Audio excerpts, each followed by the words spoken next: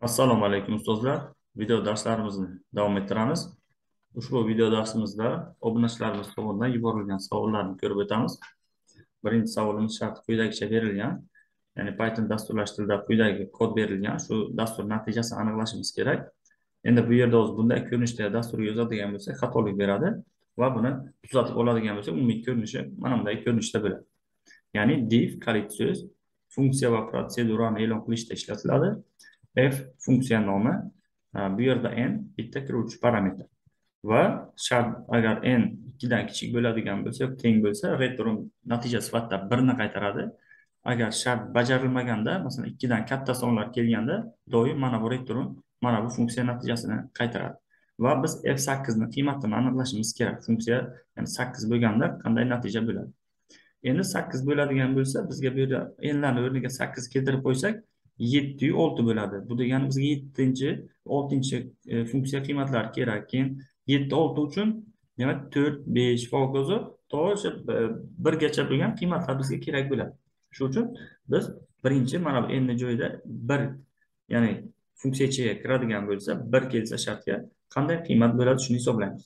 Ya'ni f1 dan boshlaymiz. Funksiya f1 bo'lganda 1 kelganda shart bajariladi 2 birdan. Kichik. E, ikki birdan katta va natija birni qaytaradi. Chunki shart bajariladi bir kirganda keyin ikki. F ikki bo'lganda. Ikki bo'lganda ham shart bajariladi. Kichik emas lekin tengi bo'lligi uchun ikkida bajariladi va return yana birni natija sifatida qaytaradi. Endi f uch bo'lganda. Uch bo'lganda shart bajarilmaydi. Uch ikkidan kichik emas. Shuning uchun bu ifdan tashqarida turgan mana bu return ishlaydi. Ya'ni e, uch kelganda ya'ni ikkidan katta sonlar kelganda doim mana shu e, return mana shu funksiyani natijasini qaytaradi. Va endi qayerda n bo'lsa shuni joyiga uchni keltirib qo'yib hisoblaymiz. Ya'ni teng uch ko'paytirilgan nni joyiga uch qo'yadigan bo'lsak uchdan birni ayiradigan bo'lsak ikki qoladi minus uchdan ikkini ayiradigan bo'lsak bir qoladi. Mana bu qiymatlar bizda tepada bor. E, f ikki birga teng f bilan birga teng. Keltirib qo'yamiz uch karra bir minus bir teng ikki bo'ladi f to'rt to'rt kelganda yana shart bajarilmaydi va bu e, ikkinchi returga o'tadi qayerda n bo'lsa shu yerga to'rtni keltirib qo'yib olamiz. F uch minus f ikki bo'ladi. Ya'ni mana bu yerga to'rtni keltirib qo'ysak mana shunday ko'rinishda bo'ladi. Va bular mana yuqorida bor. F uch ikkiga teng f ikki birga teng. Keltirib qo'yamiz. F uch mana ikki minus f f ikki birga teng. Hisoblaydigan bo'lsak besh. F besh. Keyingi beshni topamiz. Besh kelganda ham yana shu bajariladi va e, n joyiga beshni keltirib qo'yib hisoblaymiz. F to'rt bo'ladi besh qo'ysak minus f uch bo'ladi. Bular yuqorida bor. F to'rt beshga teng f uch ikkiga teng. Uch karra besh minus ikki. Natija o'n uch f olti. F olti bo'lganda oltini keltirib qo'yadigan bo'lsak n joyiga f besh minus f4 bular bor mana. Bizda f5 13 ga teng. 3 karra 13 minus f4 5 ga teng. E, 5 ga teng mana bu f4 5 ga teng. 39 bo'ladi 5 ni ayiradigan bo'lsak 34 qoladi va f7 bizda. F7da 7 ni keltirib qo'ysak endi joyiga 3 karra f6 minus f5 3 kere f oldu 34'e teng minus 13 bu bizga 102 bo'ladi 102dan 13 ni 89 bo'ladi va oxirgi qiymatimiz mana shu kerak bizga. F 8 kerak. Shuni hisoblaymiz 3 kara f 7 minus f 6 3 kara f 7 89 ga teng minus 34 buni ko'paytiradigan bo'lsak bu bizga bo'ladi 200 oltmish yetti minus o'ttiz to'rt. Va oxirgi javobimiz bo'ladi bizda. Ikki yuz o'ttiz uch bo'ladi. Ya'ni mana shu funksiyani o'zi e, python dasturlash tilida bajaradigan bo'lsak bizga ikki yuz o'ttiz uch natija chiqadi. Javob mana shu. Ikki yuz o'ttiz uch bo'ladi. Navbatdagi savolimiz. Quyidagicha mana bu yerda butun bo'lish qoldiqli bo'lish va darajadan foydalanib e, dastur berilgan shuni x qiymatini aniqlashimiz kerak. Bu yerda ifodalar teng kuchli bo'lsa ya'ni bo'lish bilan qoldiqli bo'lish kelsa butun bo'lish bilan bular chapdan o'ngga qarab bir boshdan bajariladi. Agar daraja bo'ladigan bo'lsa birinchi daraja bajarilib keyin bu amallar bilan e, birgalikda bajariladi. Endi hozir mana bu yerda ellik bilan e, to'rtni e, butun qismini olishimiz mumkin. Ya'ni ellikni to'rtga bo'lib butun qismini oladigan bo'lsak bu o'n ikkiga teng bo'ladi. Endi bu yerda o'n ikki bo'ladigan bo'lsa mana bizda endi qoldiqli bo'lish kelyapti. Qaus ichi e, bizda yetti bo'ladi. Ya'ni e, yettini bu to'rtinchisi degan. Mana bunday ko'rinishda yozadigan bo'lsak ya'ni to'rtta yettini o'z o'ziga ko'paytir degan. Ya'ni e, plyusgacha bo'lgan jarayon bo'ldi bu. Plyus keyin butun qismi mana o'ttiz ikkini oltiga bo'lib butun qismini oladigan bo'lsak besh bo'ladi. Ana shunday vaziyat bo'lyapti. Endi bu hisoblaydigan bo'lsak o'n ikki qoldiqli bo'lish bu yettita to'rtni to'rtta yettini e, to'rtta yettini o'z o'ziga ko'paytiradigan bo'lsak bu ikki ming to'rt yuz bir bo'ladi plyus besh. Endi qoldiqli bo'lishda agar bo'linuvchi bo'luvchidan kichik bo'lsa natija sifatida bo'linuvchini o'zi olinadi doim. Bo'linuvchini o'zi olinadi va natija sifatida o'n ikki olinadi o'n ikki plyus keyin bu beshni o'zi keladi. Javob oxirgi javob bizda o'n yetti bo'ladi. Ya'ni print ishlaganda mana bu yerda xda o'n yetti sonni chiqadi. Navbatdagi savolimiz f mulohaza uchun rostlik jadvali berilgan. F mulohaza uchun quyidagilardan qaysi biri mos keladi degan shart qo'yilyapti endi mana bular bizga kiruvchi signallar a b c d va mana bu yerda mana chiquvchi signal. Ya'ni bizda bir nol bir bir chiqyapti f ustunda. Endi qaysi javobda mana shu har bir qatordagi qiymatlarni mos ravishda keltirib qo'yganda mana bu xuddi e, shunda ustundagi sonlar hosil bo'ladi. Buni a javobdan tekshirib ko'rishni boshlaymiz. Va bizda mana o'rtada or turibdi. Ya'ni o'rni sharti bittasi natija rost bo'lsa bu e, butun natijamiz rost bo'ladi. Hammasi yolg'on bo'lganda yolg'on bo'ladi. Ha endda bittasi nol bo'lsa natija nol bo'ladi. Hammasi bir bo'lganda bir bo'ladi. Demak mana shulardan foydalanib e, bajaramiz. Ya'ni birinchi qatordagi mana bu a o'rniga nol b o'rniga nol c o'rniga bir d o'rniga nol keltirib qo'yganda akalikka. Agar shu birni bersa ikkinchi qatorni keltirib qo'yib uchta to'rtinchi qatorni ham keltirib qo'yib tekshiramiz. Hammasida o'rinli bo'lsa keyin o'sha javobni olamiz. Agar bittasida o'rinli bo'lmasa ham demak bu javob to'g'ri bo'lmaydi. Mana masalan hozir ani o'rniga nolni keltirib qo'yadigan bo'lsam nolni imkori bir bo'ladi. Bu degani bu buyovni hisoblash shart emas. Chunki e, yig'indida bitta bir bo'lsa orada buyog'i nima bo'lishidan qat'iy nazar bir bo'ladi. Demak hozircha to'g'ri kelyapti bizga hozircha. Mana bitta bir aniqlab oldik.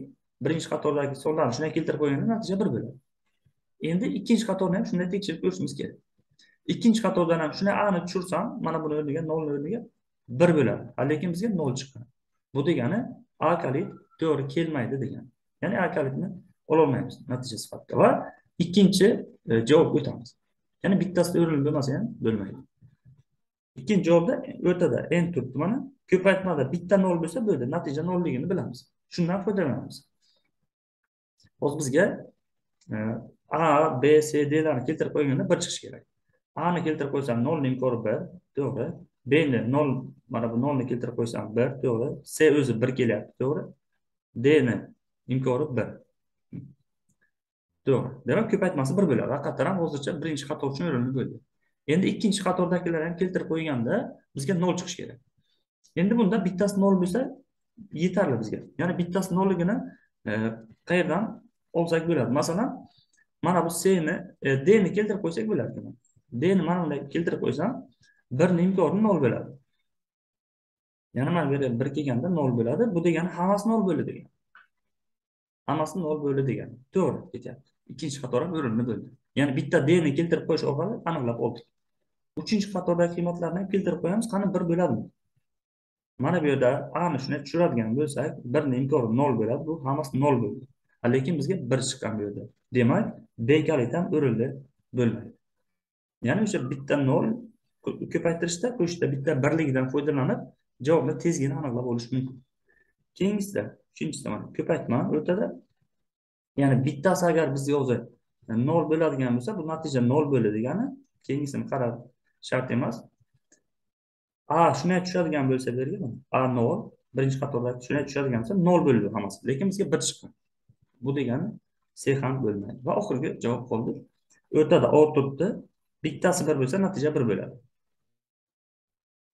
Demak bu yerda hozir bir chiqishi uchun mana d ni shunday tushiradigan bo'lsak bu yerga d bir e, nolni imkoni bir bo'ladi. Bu degani hammasi bir bo'ladi degan to'g'ri. Ya'ni birinchi qatordagilarni qo'yganda bir bo'ladi.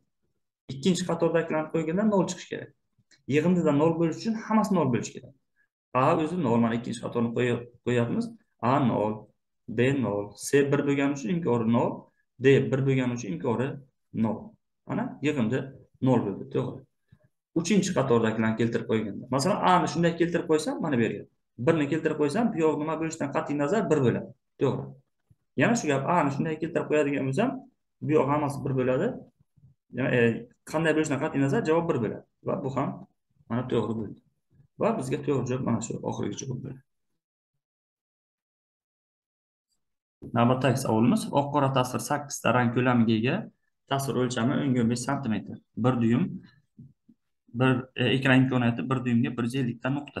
Bir duyum ikki yarim santimetr. Tasvirning axborot hajmi necha bayt bo'ladi?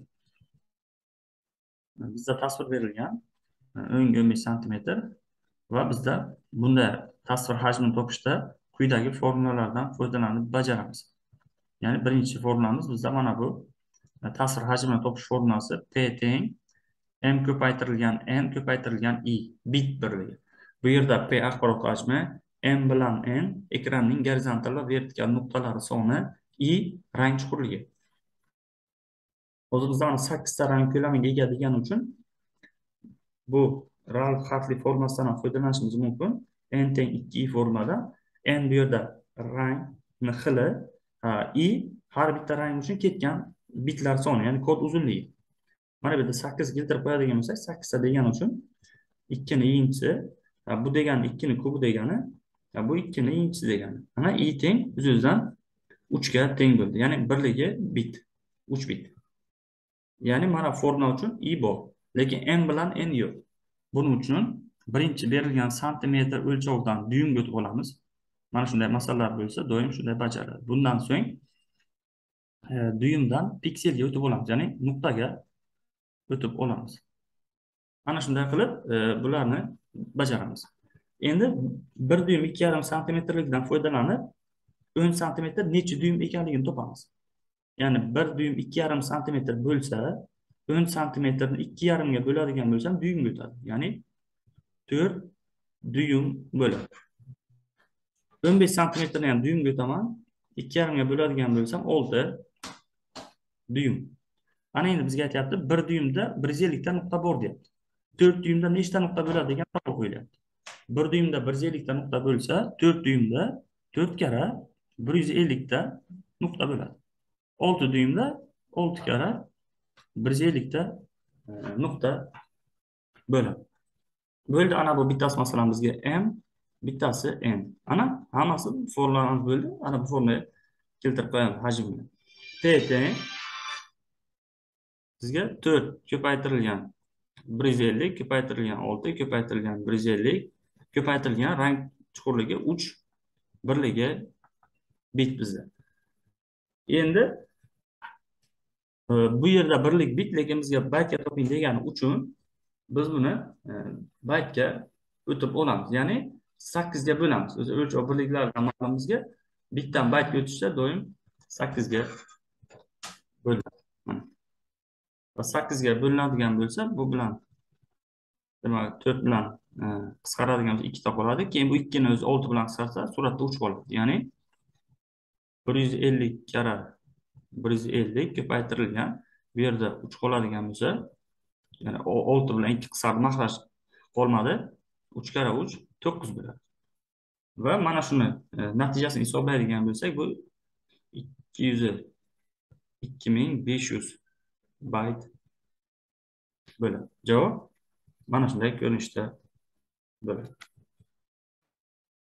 navbatdagi savolimiz. Excelda a birda o'n bir b birda ham o'n bir bo'lsin. Quyidagi ikkala tenglik o'rinli bo'ladigan c bir katak uchun qiymatni aniqlang deb quyidagi funksiyani beradi. Ya'ni ikkita tenglik bor o'rtada. Ya'ni mana shu uchalasi ham bir biriga teng bo'lishi uchun deyapti. Javoblardan mana bu c birni o'rniga qaysisini keltirib qo'yishimiz kerak. Endi birinchi selli ya'ni biza kichik butun qismigacha yaqinlashish funksiyasidan boshlaymiz. Va e, bu yerda biz olishimiz mumkin. E, a birni o'rniga mana o'n bir keladi. E, c birni o'rniga endi tavakkalga shu a javobdan boshlab e, keltirib qo'yishni boshlaymiz. Selli bizda o'n bir e, bo'lish minus besh. Minus bir. Endi shuni natijasini topsak o'zi hozir qanday bizga qiymat chiqaradi? Yoki e, shuni excelga hisoblaydigan bo'lsak qanday natija beradi? Endi e, o'n birni minus beshga ya'ni beshga bo'ladigan bo'lsak bu ikki butun ikki minus ikki butun ikki bo'ladi. Endi koordinata o'qiga qaraydigan bo'lsak bizda nol mana masalan minus bir bu masalan minus ikki minus ikki butun ikki mana bu yoqda joylashgan. Endi buni kichik butun qismigacha yaqinlasam bu bu tomonga qarab ketadi. Noldan uzog'i kattaroq bo'ladi e, kichikroq bo'ladi. Nolga yaqini kattaroq son bo'ladi. Demak minus ikki butun ikki mana shu yerlarda bo'lsa buni kichik butun qismi minus uch bo'ladi. Va mana buni o'zi minus uchni beradi minus uch minus bir. Teng minus to'rt. Mana birinchi ifodamiz minus to'rtni berdi. Endi o'rtadagi funksiya astat. Ya'ni qoldiqli bo'lishni qaraymiz. Va e, astatda qani qanday natija bizda e, bo'ladi? Bu a bir b bir bor. Mana o'n bir karra o'n bir bir yuz yigirma bir. Nuqtali vergul hozircha minus beshni keltirib qo'yamiz. Birinchi kalitni tekshirib ko'ryapmiz. Minus besh. Endi ostatda bizda ishoralar ya'ni plyus minus bo'ladigan bo'lsa agar bo'linuvchi mana bu bo'luvchi minus besh yani bo'lganda butun son chiqmasa doim biz mana shundan yuqorida turgan beshga butun bo'linuvchi son topamiz. bir yuz yigirma besh. bir yuz yigirma beshdan bo'linuvchini ayiramiz. To'rt va bo'luvchini oldidagi ishora nima bo'lsa o'sha ishora bo'ladi. Plyus bo'lsa plyus minus bo'lsa minus qo'yiladi. Demak bu astatdan bizda minus to'rt chiqadi.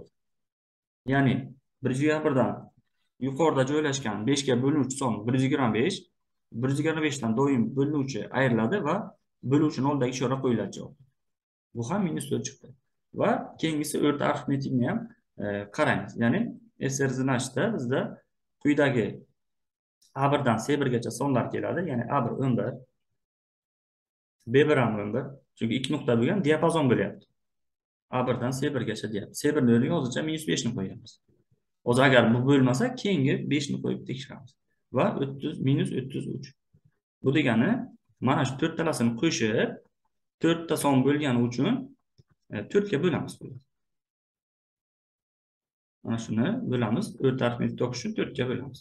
Yigirma ikki e, bu bo'ladi bizda plyus o'n yetti plyus o'n yetti minus o'ttiz uch minus o'n olti bo'ladi. Minus o'n olti to'rt minus to'rt bo'ladi. Ana bu ham minus to'rt chiqdi bu ham minus to'rt chiqdi bu ham minus to'rt chiqdi. Bu degani e, teng e, o'sha tenglama mana bu tenglama minus besh keltirib qo'yganda to'g'ri bo'lyapti. Uchalasi demak uchta funksiya ham bir biriga teng chiqyapti.